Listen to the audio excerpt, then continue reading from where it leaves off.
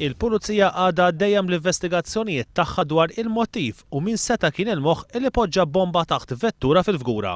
One News huwa informat li tard l-Erbgħa filgħodu kien hemm moviment kbir ta' Pulizija fi Triq il-Falkunier fil-Fgura hekk kif il-Pulizija ċċirkondaw karozza bajda.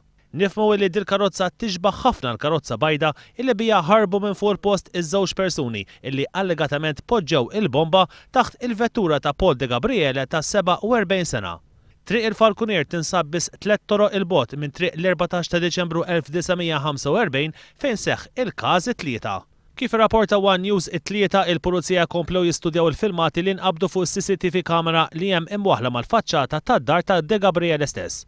F'dawn il-filmati jidhru żewġt irġiel b'rasu mgħottijin resqin lejn il-pick-up ta' Degabriele fejn wieħed minnhom jidher jitbaxxa 'l taħt il-vettura minn ħdejn il-bieba tas-sewwieq u l-ieħor baqa' fuq quddiem tal-pick-up.